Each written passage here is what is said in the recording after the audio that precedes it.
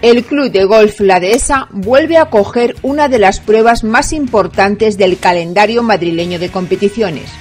En esta ocasión se trata del Campeonato de Madrid Interclubes Femenino mayores de 25 años, que tras el éxito de la pasada edición regresa al recorrido de Villanueva de la Cañada.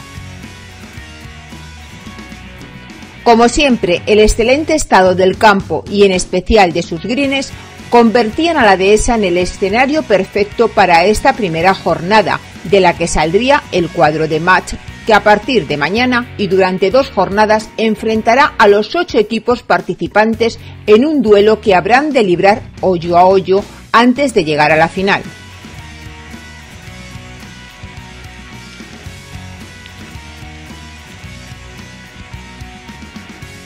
Por el momento, la competición individual ha dejado a Araceli Huizi de La Moraleja, a María Rubio de la Real Sociedad Hípica y a Inés Obarrio de Puerta de Hierro empatadas al frente de la provisional del torneo, con una vuelta de 72 golpes.